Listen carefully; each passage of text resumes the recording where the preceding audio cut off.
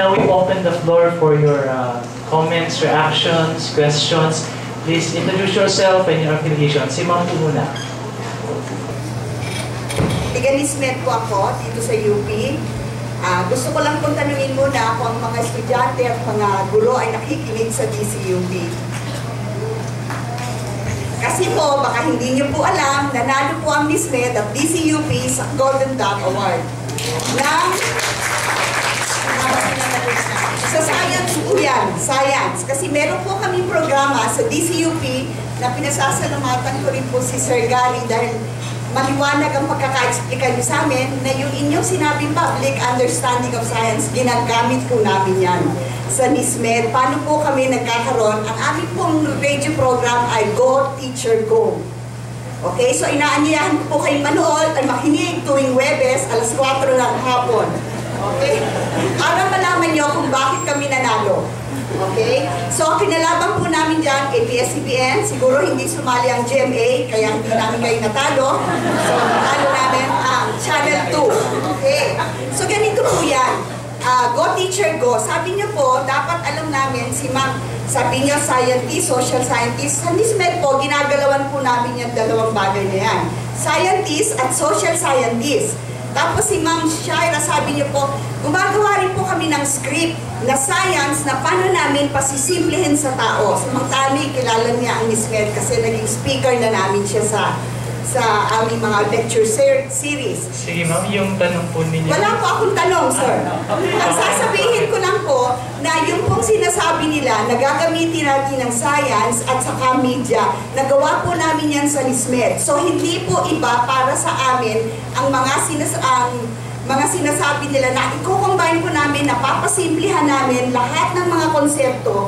Kasi po, ang mga konsepto sa science, ganito po ang takbo ng aming Ah, umpisa, paano yung topic na ididikit namin sa K-12?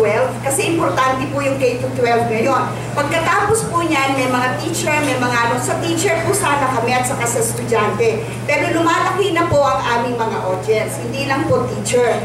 So, pagkatapos po nun, paano na ituturo sa bata at paano na iintindihan ng mga teacher? So, sabi niyo, parang media, dapat lahat. So, ito na po yung isang siyensya na pwede nating marating ang lahat. So, sana, ah, request natin, DCUP, hindi lang pan DCUP, no? Sana makakarating sa kasing lakas ng GMA. Kasi marami kami magandang programa sa DCUP na katulad ng Go Teacher Go. So yun po lang ang gusto kong sabihin kay Ma'am Tani, kay Ma'am Shaira at kay Ma'am Luisa na meron po na kaming ginagawa ganito at siguro pwede rin namin kayong imbitahin sa mga susunod na panahon paano nyo maintindihan, paano maging simple ang science at ang mathematics na dinidescribe namin ang curriculum sa maliliit, simpleng tao. Yun lang po. Maraming salamat po. Mabuhay po ang DCUP, ang Miss Med, at ang Go Teacher Go. Sino po ang. Si Sir Gary po ang may sasabihin.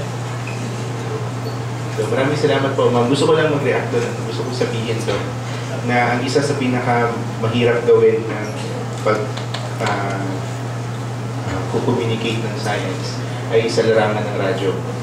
Madali po kasi yan pagka TV dahil visuals tayo. At madali din yan pagka journalism. Well, may, mahirap naman sila lahat, pero kung ikukumpara mo dun sa gagawa ka ng script sa radyo, yan po ay napakahirap. Dun sa DevCo, meron din kami DCLV naman, pero hindi gumagana ngayon. pero, pero yung mga uh, uh, estudyante namin na science communicators, walang masyadong malaking training for broadcasting. Kaya malaking malaki po yung maitutulong din ng uh, Go Teacher Go ng DCUP tsaka ng ISMED para doon. Pero mahirap po, mas mahirap po dun sa tatlo, pinakamahirap gawin yung pag-communicate ng science sa, sa radyo. So, yun yung, yun yung napag-usapan namin, I was with uh, uh, uh, uh, Angelo Palmones. So, yun yung, di ba dati meron siyang, ano, yung, ano ba yung program niya sa DCM? Uh, science, uh, nasa RA siya ngayon eh, nasa RA siya ngayon. Mm, uh, December siya bago siya naging congressman tapos nasa RA siya.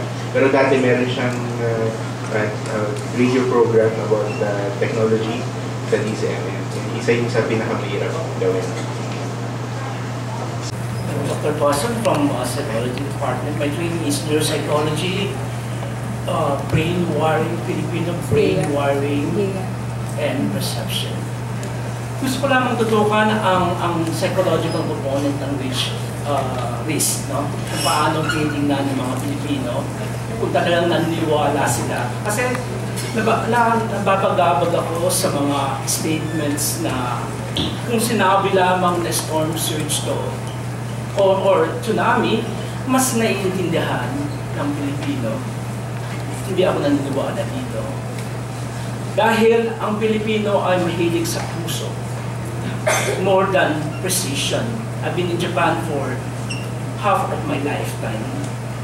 I was trained by Japanese uh, professor to be precise. Ngunit sa pagbalik ko sa Universidad ng Pilipinas, hindi ko makita ang precision. Nahihirapan ako. No? Ah, mahilig tayo sa kutob.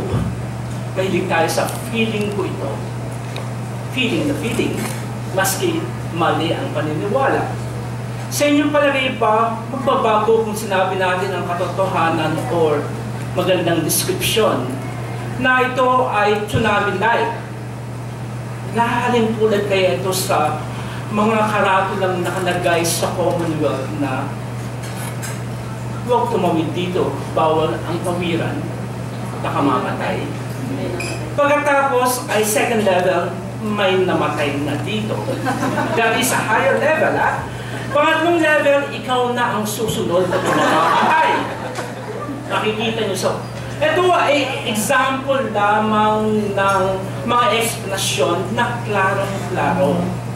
Ngunit sa aking palagay, may problema ang ating mga utak being Filipinos. No? Sa aking pagtuturo ng perception, psychology of perception for the past 35-40 years, masasabi kong may problema ang utak natin. Matigas ang ulo natin, ayaw tayo makinig, no? We, are not, we don't have precision, no? So, ang tanong ko, paano natin iibahin o abutin ang ang brain wiring ng Pilipino nakakaiba, no? O palaging sasabihin ng Pilipino, pag sinabi mong lumikas sa po kayo, ibahin nyo po, no? Hindi ako mamamatay. Katulad ng iba. No, mga tanga siguro sila ako. Diskarte, diskarte lamang yan. Palagi ko na narinig natin, diskarte, no? Pero sabi ko, wow, no? Sa Japan, Pilipino rin ako, no? Pag sinabing earthquake drill, na uiwang kami sa floor, mga Pilipino, hindi kami naniniwala dyan. Mas diskarte kami, magagaling kami pag natutumba ng building, doon na kami tatakbo. Kaya pinapagalitan kami, Pilipino talaga kayo, no? Ang titigas ng ulo nyo. You don't want to participate. No? Ganito tayo mga Pilipino. Paano na? Kaya yung na-appreciate ko kay Professor Bolinaw, no? na ang nawawalang kompon- component nito ay social science, so particularly psychologists, na tumitingin kung paano natin mababago ang ang Pilipino.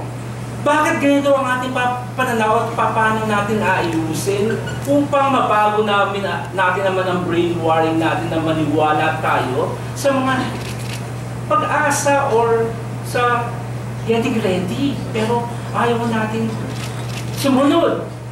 Ayaw natin pumunta na naman kayo sa Commonwealth kung ma- gaano karaming natatempo ko doon ng mga tao araw-araw at ayaw pa rin nilang sumunod. So, Dr. Watson, ang tanong niyo po ay para kay Professor Mas Montemayor. sinong gusto mag-react? Sige po. tama po yung binanggit mo. Kasi yung nangyari sa Yolanda, kahit na sabihin natin na gabundok yung alon na inaasahan dyan, hanggat hindi nararanasan ng isang tao, eh hindi sila tikilos. Kaya yun lang po ang nakakatakot eh. Kasi mayroon pang darating na Yolanda. Mayroon pang bagyo na mas malakas kay Yolanda. Pero ang tanong, saan lugar? Eh mas natatakot ako, paano kung dito sa Metro Manila tumama yung ganun kalakas na bagyo na ang dala-dala ay walang kasing lakas na hangin, ulan, at yung storm surge. And even up to now, hindi pa po tayo talaga natututo.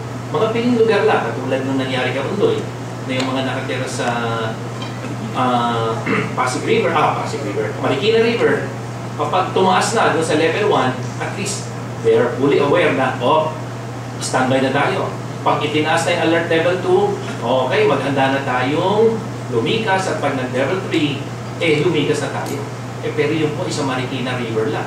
Eh there are so many rivers in our country na babahain at may potential na bahain. At yung nangyari sa Yolanda, eh tingnan niyo po ngayon ang kalalagayan ng ating mga biktima ron na hanggang ngayon ay nandun pa rin sa mga tent, nandun pa rin sa mga lugar na alam mo na kapag mayroong bagyo, eh eto, vulnerable pa rin sila. So yun po ang isang ano natin na kailan magbabago? Eh ako po eh Pilipino. Magbabago yan. Yun nga kailan? Ito po nga, kasi ito, ano sa inyo. Ako po ay may pagkakataon na bumalik sa Australia. Ang sabi nga nila nung ako'y umalis, eh bakit sinasayang mo sir yung, yung galing mo na nandun ka sa Australia? Dapat dito ka sa Pilipinas. Kasi mas magagaling na sila doon, huwag ka na sumama pa, eh, dito kailangan. Yun nga lamang po kung minsan, mawawalan ka ng loob, manghihina ang loob mo dahil in spite of what we are doing, we are trying to make them understand, kahirapan ba? O talagang katigasan lang ng ulo, kawalan ba ng ah, paniniwala, o kaya may simpleng talaga ang lagi natin ano, iba tayo mga Pilipino, kaya-kaya natin yan. Sige po, may dadagdag Professor. Maraming salamat po, ah, Dr. Recto? So, Tuason, sorry, ah, Dr. Tuason. Maraming salamat po yun. Ang, meron po akong sinabi kanina na ang aim ng science communication, sabi ko dito, is to provide cognitive connections between technical knowledge and their everyday experiences. Pero po kung yung tanong nyo ay kung paano natin siya exactly gagawin, sagot ko ay hindi ko din po alam. Siguro maganda kung yung communicators na katulad namin ay mag-work kasama ng psychologists at sociologists at anthropologists. Kasi ako, I would, I would really, give it a chance, I would really like to work with anthropologists. Kasi alam nyo, ang, ang maganda doon, ako po ay galing akong social sciences of course kasi nasa communication din ako and I really understand the uh, the uh, the, uh, uh, the the suggestions that uh, that uh, both of you have made. Ako ang ang pinakamagandang gusto kong mangyari sana bago pumasok sa isang komunidad, may nauunang anthropologist doon bago kami papasok as scientists, as, ah, sorry, as communicators. Yun isang magandang gawin. Kaya alam ko yung, yung tanong niyo kanina kung paano iaan talaga yung brain ng Filipinos, hindi ko din po alam.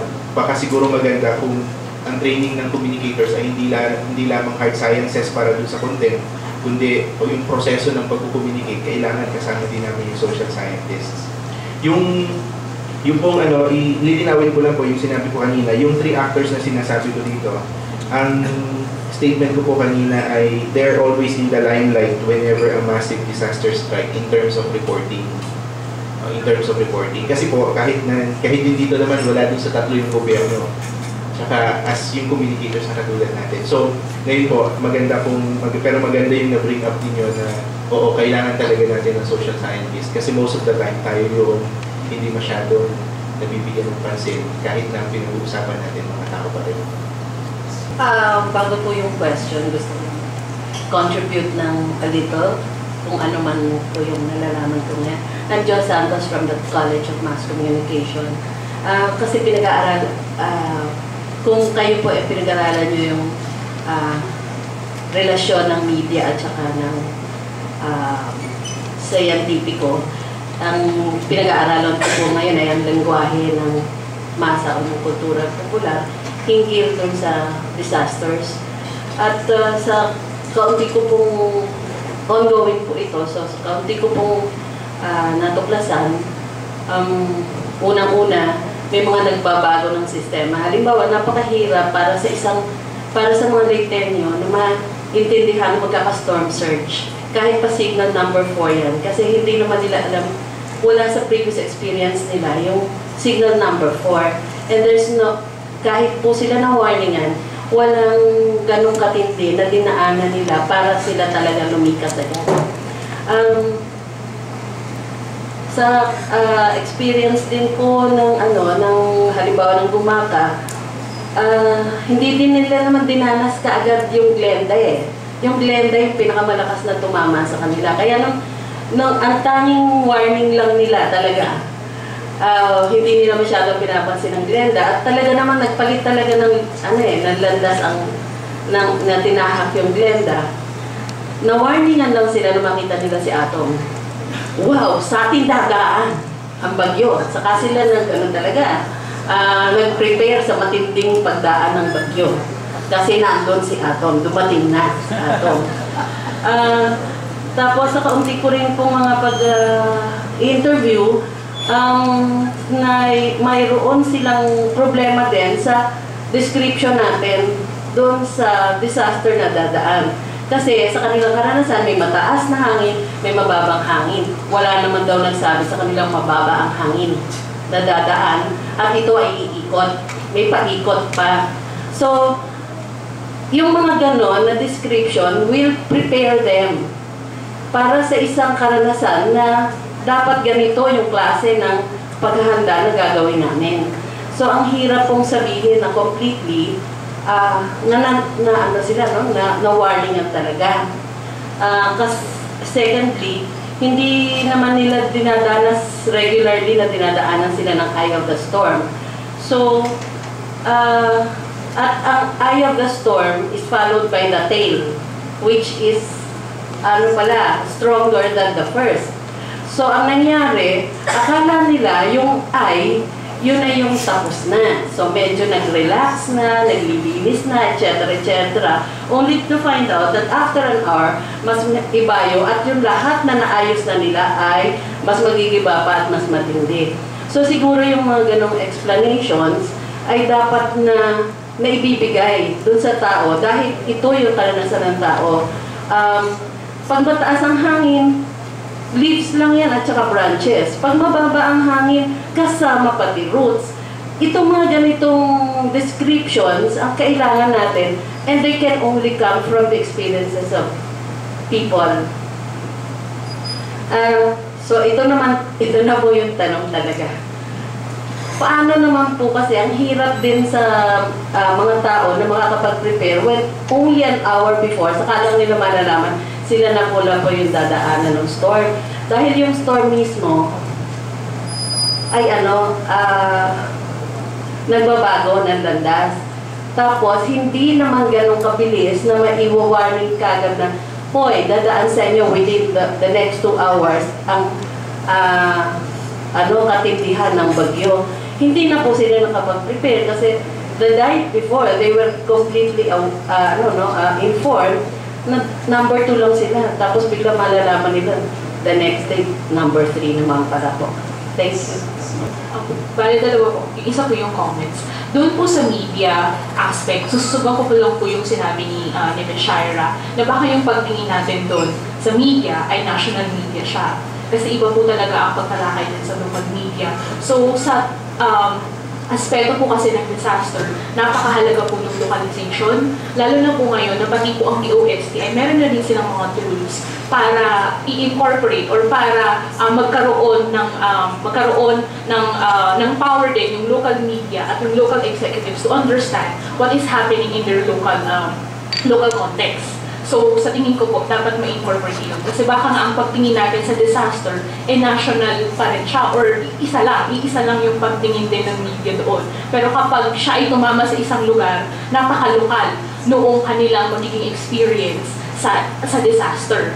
At saka pangalawa ko pong tanong ay, bakit po hindi kasama yung governance doon sa uh, nakalagay sa limelight kapag uh, reporting ng disaster kasi napakahalaga po ng governance. For example, sa Bicol po, um, kasi ako po ay from Bicol, um, napakahalaga po ng governance para yung mga tao, mapaalis sila dun sa lugar. Kasi I remember, for example, my father telling me a story dahil siya po ay LT, local uh, disaster um, um, executive doon sa bayan namin.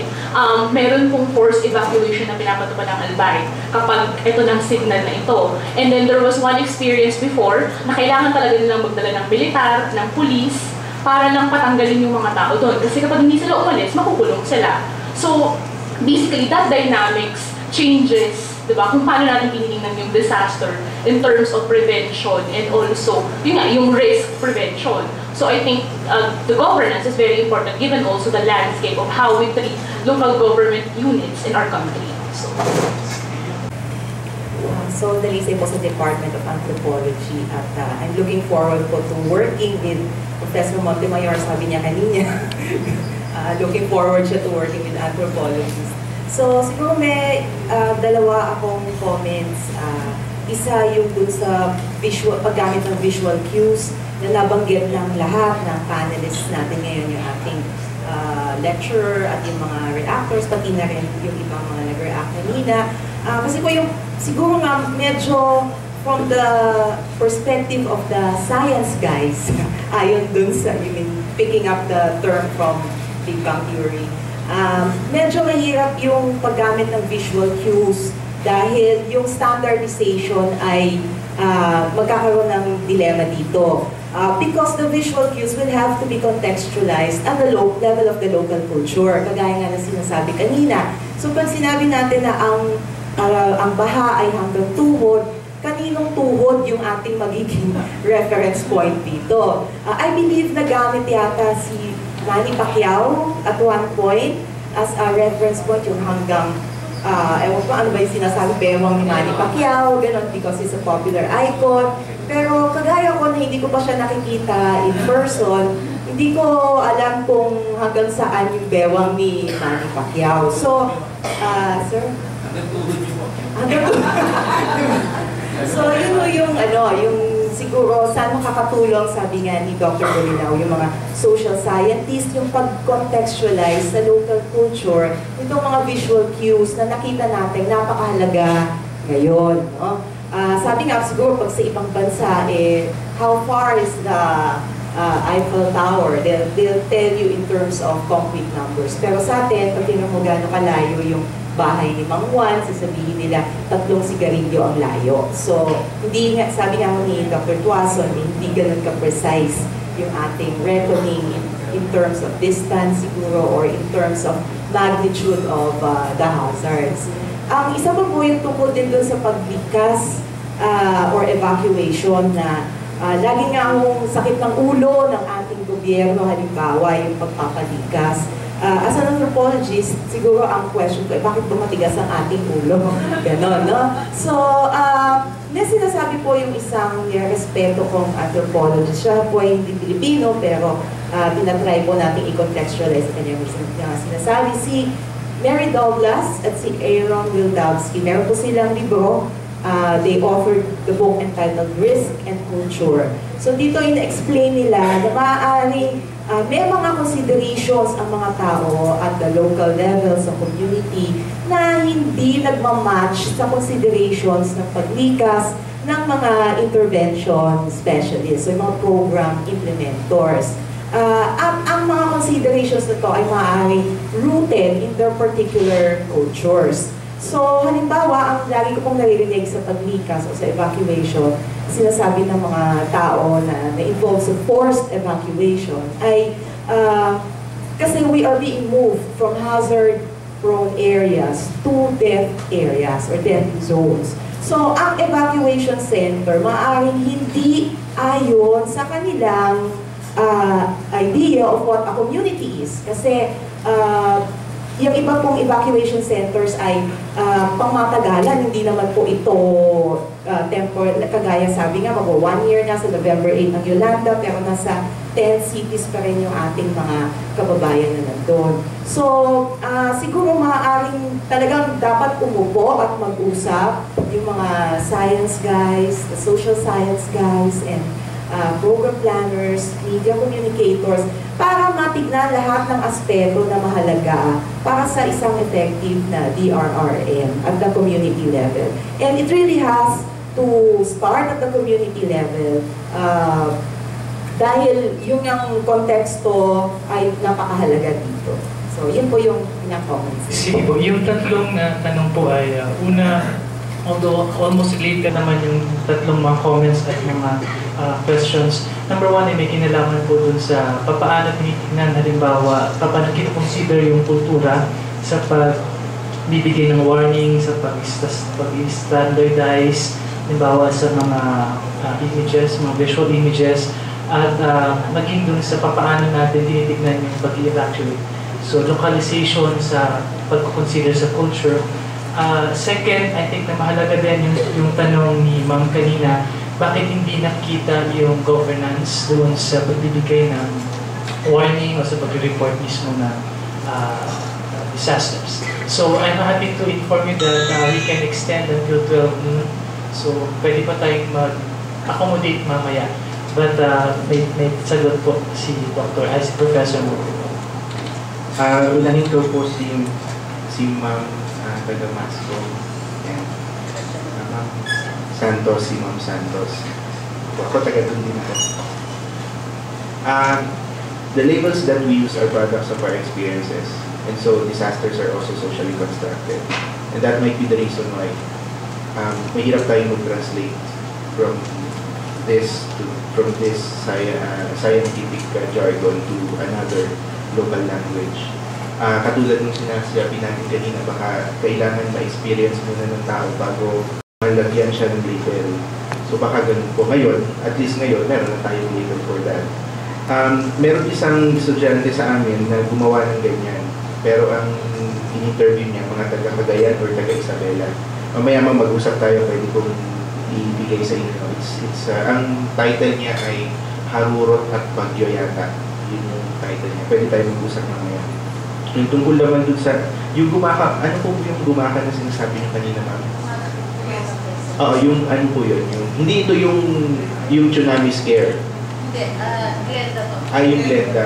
Oo, kasi may, may after, right after Glenda, meron tsunami scare sa, sa Candelaria. Oo. Akala ko yun yung sinasabi mo kanina. Pero yun yung isang pinakamahirap na mag-communicate ng risk kapag mataas yung level of anxiety ng mga tao. Tapos wala silang sources of information during that time kasi walang kuryente at uh, walang ano, walang uh, wala silang mapagkukunan ng ano kahit na maisip ng mga tao na ano yun, imposibleng magkaroon ng tsunami dahil malayo kami sa, sa wala, walang shore actually at walang earthquake na nangyari pero dahil ganun yung yung uh, sitwasyon ng mga panahon na yun, eh, parang maniniwala ka rin, lalo na kung lahat ay ganun yung ginagawa. So, yun po.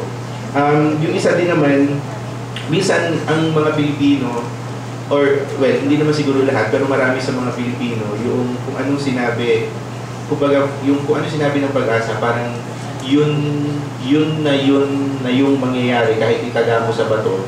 Pero actually, ang sinasabi ng pag-asa ay forecast.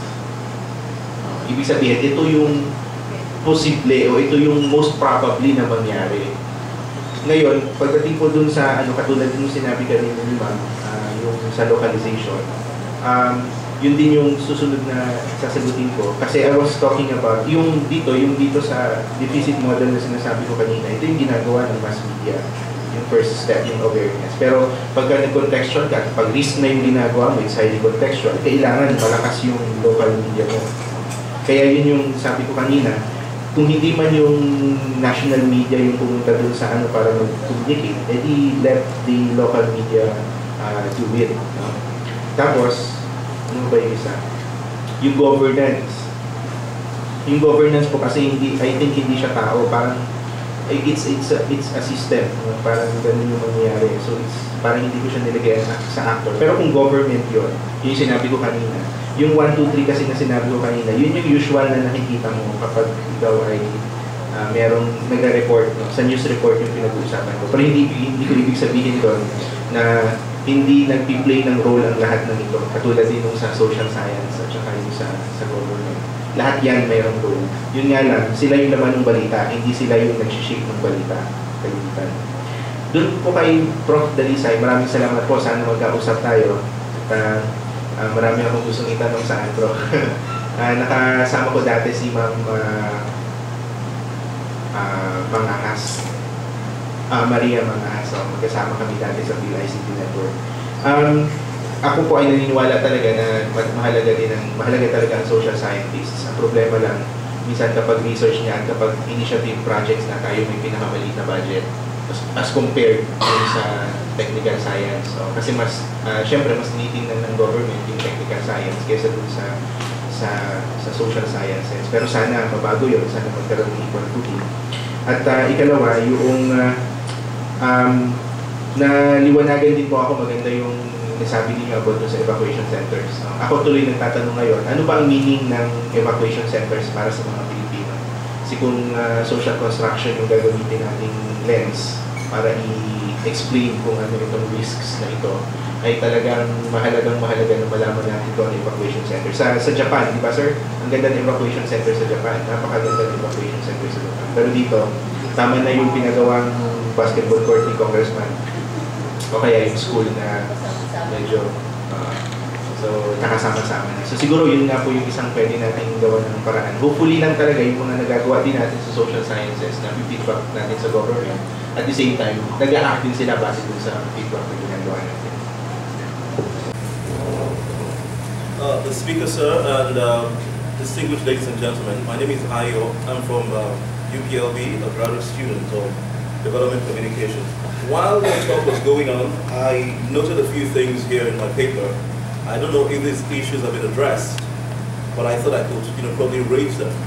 Um, as I was listening to the speaker, there was a point where he said framing science news is influenced by a lot of factors. Now, the question I raise is, are we sincerely willing to identify these factors because we seem to be very silent on these factors? How long can we continue to face the consequences of neglecting these factors? Uh, that's the first question. And the second one, uh, uh, where you mentioned that communication is a tool to influence others top down. And now, the major challenges confronting us today is this model of placing, you know, uh, communication in a top-down uh, mode. I think it's important for us to begin to see the public as a unit of power, capability, and thought, in the sense that we can turn that mode round and make it down to the top, because these people know they should be able to know about their own problems in such a way that they are the initiators, you know, of this, you know, problems, so that they can draw attention to it.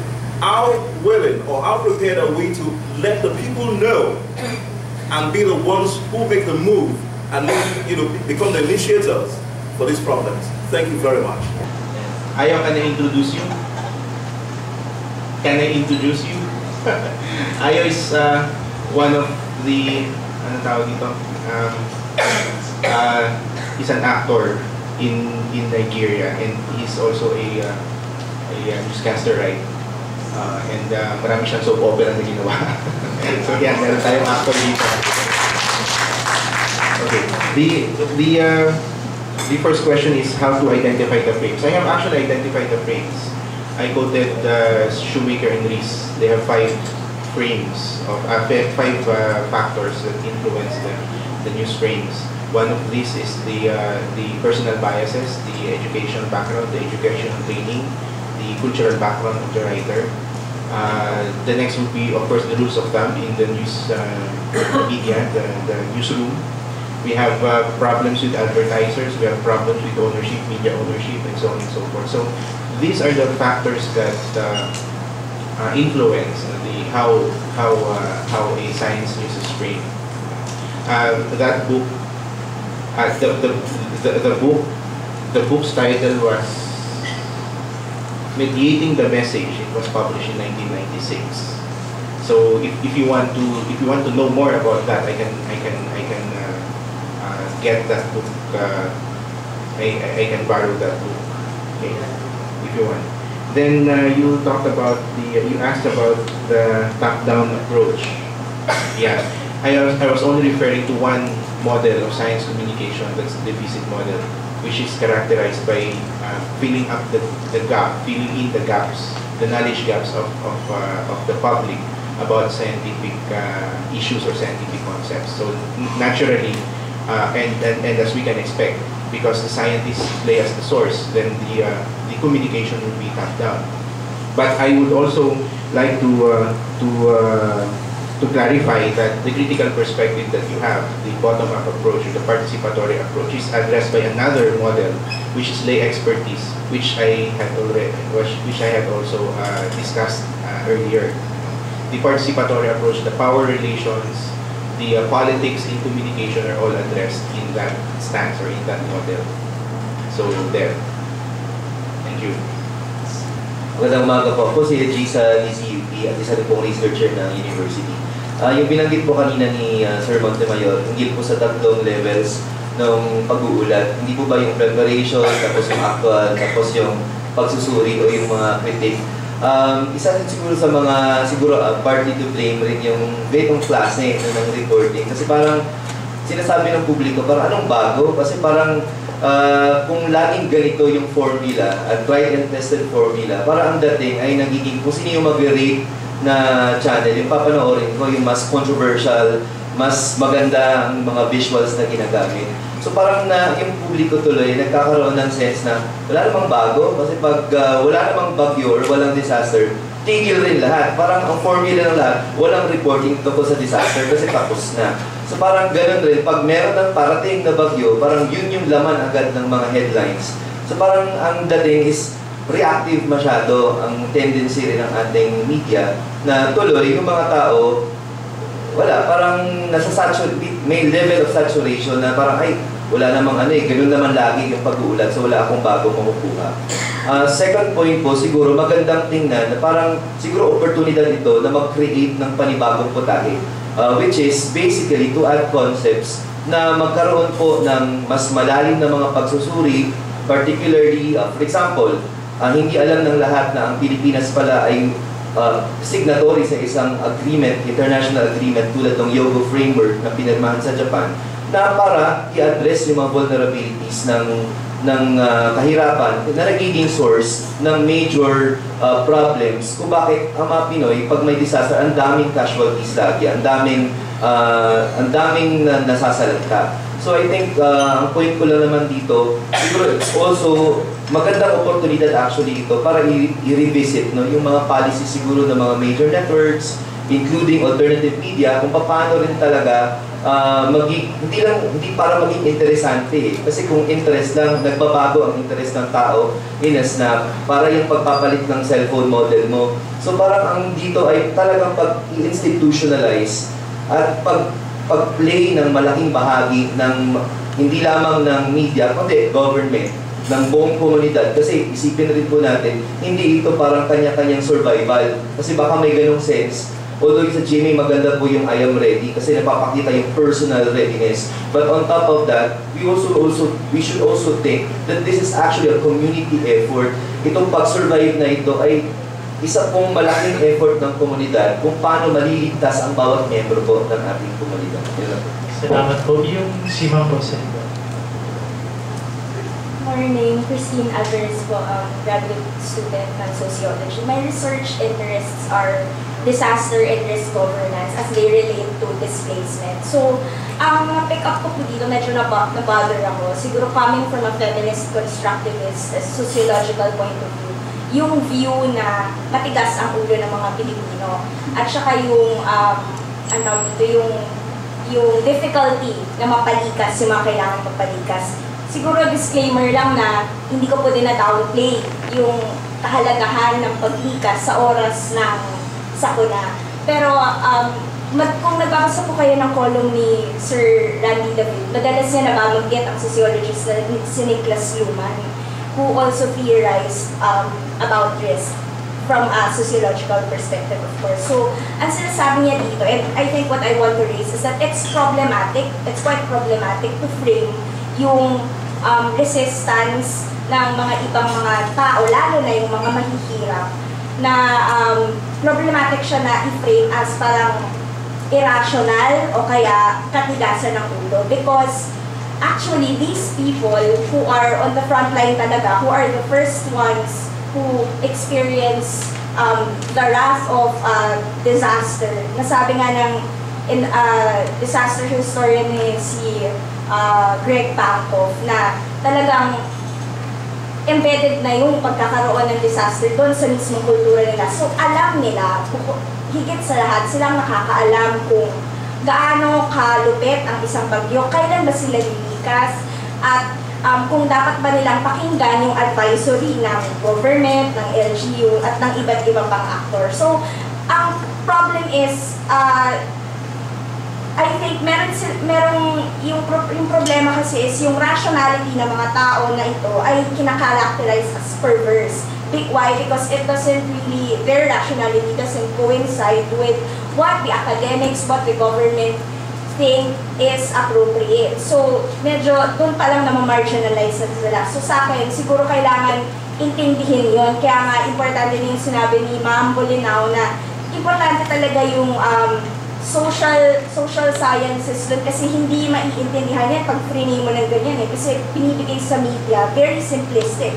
Walang context, kukunin lang bakit ayaw lumikas. And ang ang ang isa po kasing papel na ginagawa ko ngayon ay yung pag-reproduce and pag-mobilize ng perverse characterizations of the urban poor, yung slum dwellers, as they relate to itong mga disasters and displacement. So, um, siguro, I think that's one point that, you know, we, we ought to consider, lalo na sa usapin ng, ano, usapin ng uh, displacement. Yun lang po. Thank you. Sige sino po yung... So basically, ang uh, comments ni Sir Jay kanina ay may kinalaman dun sa stages of reporting na bakit palaging ganito. So nagkahanap siya na ano ba yung pwedeng alternative para sa mga networks or other forms of media na uh, pwedeng makainganyo siguro or mas maging uh, mas malaki yung impact dun sa mga tao. Then si Miss Alvarez from Soci- Sociology, uh, ang comment niya is uh, it's problematic to frame yung resistance ng mga locals, ng mga tao mismo na, na katigasan ng ulo when in fact sila mismo yung nakaka-experience ng, ng uh, disasters o ng ganong klase ng occurrences. Si Ma'am po ay nagsasabihin. Kanina ko pa gusto i-address yung paglikas na yun, ano. Kasi, usapan nga namin ni Dr. Jose, yung paglikas, hindi dahil matigas ang ulo. Pero kasi pag umalis ka ng bahay mo, mananakawang ka. Ganun lang, ganun lang pagtingin namin dun sa ano, no. Tapos yun nga, aalis ka dun sa bahay mo maayos, tapos lilipat ka sa evacuation center na most uh, likely ay multi-purpose something. Kasi higa ka sa sahig, wala kang ano, isa yung banyo. Hindi siya, ano yan sa mga Pilipino, no? na kilala tayo sa pagiging malinis at ano, no? may, uh, hindi, hindi katanggap-tanggap yun sa atin. So siguro kung maayusin yung evacuation centers, ay uh, na talagang ano siya, na fully equipped, okay, at uh, very uh, comfortable ang facilities, hindi mahihirapan. At tapos kung may security, ano, na pag pinalis ka ng bahay mo, sigurado bang hindi aakyatin niya ng mga ano, yung mga gamit ko riyan. Hindi, ay hindi mawawala. Okay, tapos doon sa yung programming, ang naiisip kong ano ay magbigay ng impormasyon na iba, katulad nung sa Yolanda nga. Meron naman kasi storm search na, ano, pakikita to sa history. So kung meron lang talagang mga researcher na bago na dumating yung halimbawa isang kalamidad, well, let's say for earthquakes, ah, ay mabigyan na ng background, ano, o nung ganitong panahon may nangyaring ah, lindol, ito yung ginawa ng mga tao, baka ganit kailangan ay ah, i-bolt natin yung ating mga ano, ito yung mga tip para tayo ay hindi uh, matutumbahan ng pader, mga gano'n. Yun lang po. Sige, si Miss Panela po. Um, sabi ka tungkol po sa programming, sir. Ah, actually, pag nanood kayo naman, pag yung after nung, during, tsaka after ng mga disasters, usually, merong mga talk shows na nag explain They interview scientists, meteorologists, disaster scientists, para mag-explain the science behind what's happening. Bakit ngayon ganon yung proseso? Bakit ganon yung timeline? Kasi sa journalism, yung tinatawag na news value ng timeliness. Eh, normally, pag tinanong mo yung mga editors, timely ba na pag-usapan habang tag-araw yung bagyo? ba? Kasi even the public would assume na pag nanood sila nun, ba't, ba't pinag-uusapan yung bagyo? Eh, ang taas-taas ng sikat ng araw. Eh, pag sinabi ko nga signal number one, tapos mataas ang sikat ng araw, sisisayin pa nila yung, yung pag-asa. Kasi sabi nila, eh, maaraw naman dito, paano may bagyo? So, para ano siya eh, chicken and egg problem. Pag pinag-usapan mo ba ng tag-araw yung mga disasters, sinong makikinig? Or, sino bang dapat mauna? Sino bang dapat mag-initiate? Is it Should it come from the media? Should it come from the public? Should it come from the scientists themselves to have press releases during um, those downtime para magawa nun? Pwede siyang collaborative approach eh, na magkaroon ng initiative to educate people. Pero hindi siya pwedeng iwanan na responsibilidad lang siya ng media alone. Pwedeng magsimula siya sa school, isama sa curriculum yung disaster science. Pwede siyang mag-umpisa sa community, magkaroon ng seminars yung mga communities tungkol paano ang gagawin natin as a community kapag may disaster. Pwedeng ganon, hindi siya pwedeng iwanan na responsibilidad lang ng scientist or ng media or ng mismong tao na consumers alone. Yun lang. Okay, maraming salamat po. Si Sir, Oo. katulad ng sinabi ni Miss Shaira kanina, nasa timing din yun eh, kung kailan. Ah, parang tuloy ngayon, dito sa pinag-uusapan natin, ang naiisip ko, kapag pinag-usapan natin yung science communication, yun yung pang everyday na kahit ano, kasi medyo, ano kasi yun eh, hindi naman siya trivial, pero may practical ano din naman. Pero pag risk com ang pinag-uusapan natin, pag communicating risk, yun yung mga pag may paparating. Pero hindi naman natin sinasabi na yung risk pag-uusapan lang pag may paparating. Kasi katulad yung sinabi ni Ma'am kanina, ni Shaira, tsaka ni Ma'am, ano, ni Ma'am Lou, um, mahalaga talaga na yung, ano, yung disasters at saka yung risk na ganyan, pinag-ahandaan, hindi yung kung kailan nandyan na, saka pa lang tayo ah, gagalaw.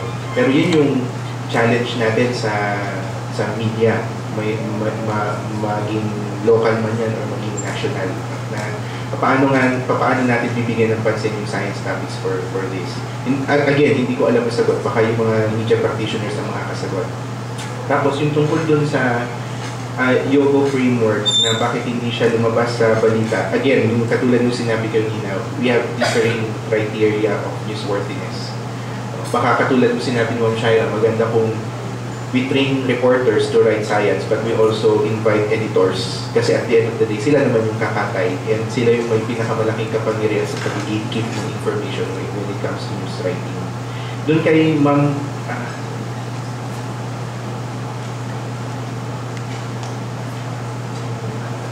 si Ma'am si Ma'am Alvarez ah yeah kailangan kailangan natin intindihan talaga ah, na, na ano natin kailangan natin intindihan talaga. Kaya lang nandun tayo sa diskurso ng eh sino yung sino yung papaniwalaan kasi sino yung tama. Pag sinabi ng scientist kailangan lumika syempre siya yung siya yung tama. Pero pag kinausap naman natin yung mga tao sa baba syempre ang sasabihin nila pwedeng sila yung tama because sila yung nakaka-experience nun So I would not rather go into that discourse kasi hindi tayo matatapos as long as we are talking about human philosophy here. Everything is relative. Pero makikita natin na talagang kailangan ang, ang, ang punot dulo dito ay hindi kung sino yung urban, sino yung matigas ang ulo, sino yung hindi lumilika, sino yung dapat magpalikas and so on and so forth. Ang ano natin dito maging handa at ma- maibigay natin kung ano yung kailangan na understanding na kailangan ng public.